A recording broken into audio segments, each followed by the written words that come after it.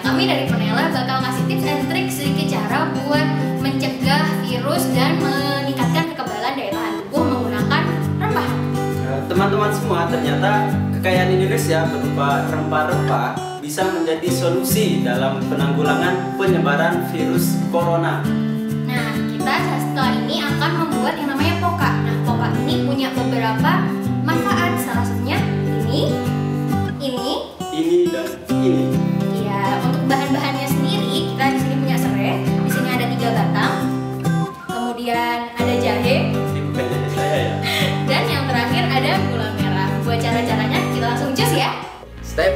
pertama, ambil eh, batang serai, kemudian ditumbuk atau digeprek.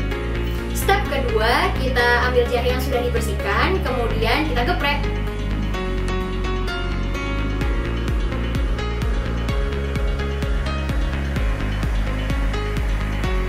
Step yang ketiga, siapkan gula merah secukupnya atau sesuai selera. Siapkan air mendidih, kemudian masukkan bahan-bahan yang sudah digeprek tadi. Ini yang pertama jahe. Masukkan serai yang sudah tadi digeprek ke dalam air mendidih.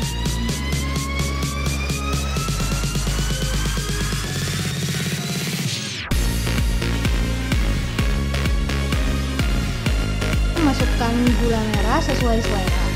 Kalau misalnya ada cengkeh atau kayu manis bisa juga dimasukkan sesuai selera.